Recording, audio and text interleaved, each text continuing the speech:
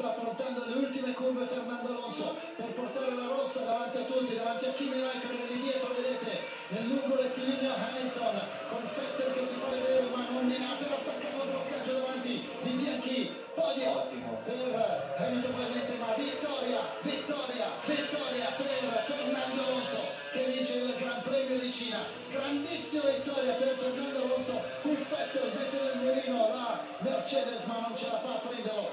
per Hamilton alle spalle anche di Raikkonen che è arrivato in seconda posizione, Vettel si guarda Hamilton come dire ancora un attimo ti passavo, ma non ce l'ha fatta, giù dal podio Sebastian Vettel, vittoria straordinaria della Ferrari, vittoria grandissima di Fernando Alonso che risponde così alle critiche che sono arrivate dopo il Gran Premio di Malesia, andandosi a prendere la vittoria, andandosi a prendere la leadership nel campionato con eh, in seconda posizione, nel, terza posizione del campionato con